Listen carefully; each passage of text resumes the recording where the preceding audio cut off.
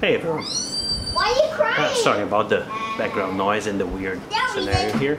But I'm in the garage and this is the church. They actually have this one of these uh, uh, industrial uh, coffee makers and it's actually giving give a lot of grief because of the it's consuming a lot of energy and they reported that it works but at a certain point it just trips a breaker so i'm pretty sure that there's either something bad inside like a spill they mentioned that there would be a spill or something like that or, um, or some other uh, problem with the uh, with internally uh, or maybe with the wiring or something like that. So let's do a, a full evaluation on that. Let's go.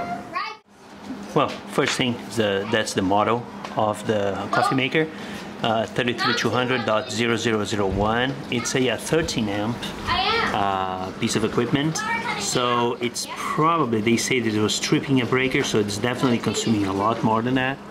And it's one of those industrial uh, uh, uh, uh coffee makers where there you have a, where you where you have one of the jugs here that actually where the coffee pours from above in here it's kind of dirty, but that's natural over the years, right, of right? And then you have another one on top here, which is just a, just a heater uh, to, uh, to, uh, to heat it up, another pot that is actually made, and that's where you pour the water in here. So you pour the water, it boils and all that stuff. So basically that's a, that's industrial, very, very sturdy, typically, and these things are typically very expensive. So let's take a look at it.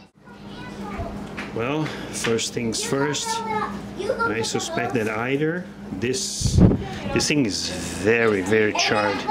It's either the uh, the outlet here uh, that is actually starting to short, which may may trip the the breaker, or uh, or something internal.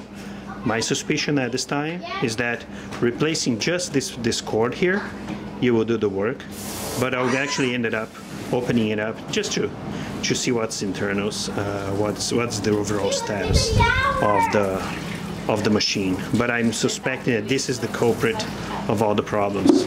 This outlet here is really in bad shape. Oh well, let's go.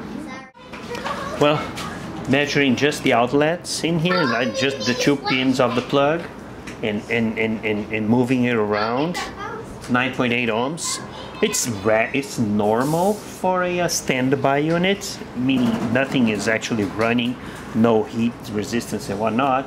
But I don't, I can't detect really a short because you move around the cable just to see if there's any any shorts or anything like that that the multimeter would actually get to zero ohms or something like that. So there's absolutely no there's absolutely no no problem in here. So I don't I don't think that there's a uh, a real trouble in here. Uh, at least the, the outlet could be causing the problem because maybe sparking on the outlet, but the uh, but the unit itself is not shorting, which is a good sign. But this is very charred. It needs to be changed anyways. I'll do now a measurement of the of the current consumed using the the ammeter. Uh, I'm gonna use. I'm gonna measure how much is actually draining uh, from this from this. Let's go. Okay, um, here's what we're gonna do. This is the ammeter. This is my splitter. I'm measuring on the on the oops. I'm measuring on the phase here on my splitter, and I'm gonna connect the the unit. And this this uh, this extension cord has a GFCI. So if anything happen bad happens, it will trip. Let's see. Okay, let's see. Okay, 12 amps straight away. 12 amps straight away is is, is quite a lot. Or maybe because the temperature of the boiler is not reached the temperature yet, so it's trying probably to heat it up. One thing I can try to do is put a small pot in there and, uh, and put some water and see if it boils. If it boils, this is quite a lot of energy being consumed, uh, almost in a standby capacity. So definitely there's something uh, there's something sick here something that is not, not quite right here. More investigation is needed. Please apologize for the camera on hand, but that's that's the best for the angle. This is the top of the unit. This is the top burner, and this is the uh, where the water intake goes. And the current, nothing is happening right now. The current is still very high, 11.7. And do I hear something? I seem to hear some some buzz in here. But let's see. I have a Pyrex.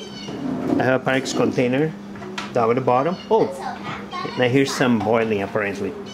So let me put some water. I'm gonna pour in some water. Let's see what the what the unit does. Okay. Current still the same.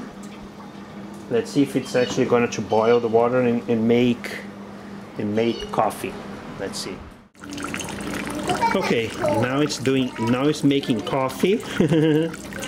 and and the boiler is starting making coffee and that's how it's actually dripping from above. Uh, but the current stays the same.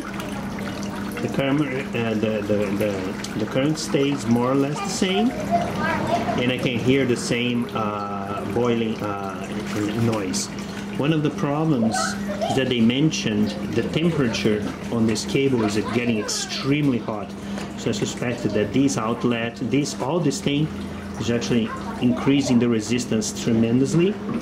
And that's why the unit, they complained that the unit was not making coffee as fast as it should have. So there may be something to it. So, well, let's see. I, I think my first order of the day is to actually uh, replace this cord and eventually get to, to the bottom of, uh, of the rest of it. Which, to replace this cord, will be a little bit complicated. I just need to actually get to the bottom of this unit. But I needed to turn it over, so it might be water. It might be a little bit messy. But let's see. At least it made some coffee. so, with the machine open, here's the boiler, okay? That's just a side panel. And, well, my meter is actually resting on the on the on the water tank, on the top water tank. That's fine. But here is the uh, is the internal of the machine, which you have the uh, the serpent. The small serpentine is actually the wire from the thermostat. Uh, and there's the connections here. There's a bus terminal in here, and uh, the, the thermostat control. This thermostat control was set to high, so I think that's what explains it being forever uh, powered on. The boiler never stops working. Uh, so I, I'm going to regulate that so we can have something more meaningful. And these are the two switches uh, for the heaters, but these are for the top and bottom heater. So these are not really important because these are working fine. So what I'm suspecting is that what I'm have to do is just do a, a minor regulation in here and change the outlet. So I think everything will be a will be working fine. Uh, I suspect so. Let's let's see. I'm gonna put it to test. Okay, so I'm gonna actually measure the voltage on that terminal bus inside. Uh, using uh, some some probes that are a bit longer because it's very hard to access there but I should have 120 volts so hopefully I'm gonna get there I can hear the boiler going on so let me try to see if I can do this without messing up too much okay 120 volts 118 which is good enough okay so it's actually still boiling and it's set to maximum so it's boiling eternally the current still going at 11 amps. Let me see if I can actually, oh, there you go. I can hear the click. By setting the thermostat a little bit lower, I could actually get the current the thermostat, the boiler to actually stop boiling, which is a good thing. Because now, what do I have here? Well, I don't know if I still have 120 volts in here. Let me see here. Yeah, I still have 120, but you can tell 124 so there's a huge drop, six, six or so volts, probably because of the frayed core and uh, and the out and the and the plug. So definitely those need to be replaced. And I suspect that as soon as the temperature starts going down, the thermostat will actually act up again, and it will actually bring the temperature back up.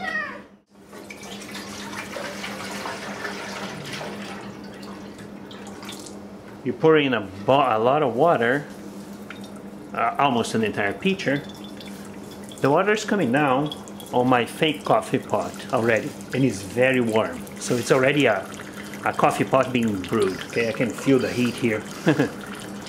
and the boiler is not turned on yet. It will, because this cold water is gonna start seeping in, and then you warm the water you cool the water inside the boiler and then the boiler will kick in. That's what I noticed. So to me, the whole thing is working. Uh, I would definitely reply the repl uh, replace the freight cord, but everything else seems to be uh, working fine. Yeah, there you go. The boiler, oops, sorry, sorry about the upside down. the boiler kicked in and it's boiling the water. Started to heat up the water that is already inside the, the, the boiler itself. So, so it is working. It is working. I didn't do anything to be honest. I just needed to uh, needed to clean it up, I guess. I don't know. Or maybe to get uh, some water out of the system. I don't know. Uh, maybe need some um, descaling, which will be removal of the impurities. I don't know. But it's it's brewing a pot of coffee. So yeah, I'll replace the cord, replace the cord and return it. It's nothing to it, to be honest. All right, final test. New plug, new cord actually uh, is 16 times 3. Uh, and I'm gonna get the voltage in here, measure the voltage after it connects. Let's see. You can never turn this on without water in the boiler. So it's 12 amps getting in there. You probably start boiling soon. Let me try to measure the voltage on this outlet here. 120. Hmm. A little bit better than your regular uh, 120. Let me see on the outlet how much we have. 120. All right, got it, finally. So 120 here and all right 119 before it was 6 volts difference now it's less than 1 volt. approved. Things approved. Let me turn on the boiler. Actually let me bring more water. And I want to make sure that we got we got enough uh, water to to boil. All right now it is boiling. And it's going down fast so let's see probably we'll start making coffee soon just want to make sure that all right it is making coffee again what I found out you need probably three to four pitchers of water down the down this guy here so you can actually go, do continuous coffee. Alright, living and learning. but overall, boiler is working, the thing is working. I did a little bit of the scaling, it really needed some cleaning. And so far, it is brewing coffee. so, well, chalk that one out. See you next time. Hope you have liked it. Not much interesting, just a frayed cord and some cleanup, some touch up, spit and polish, and everything's good. All right. See you next time.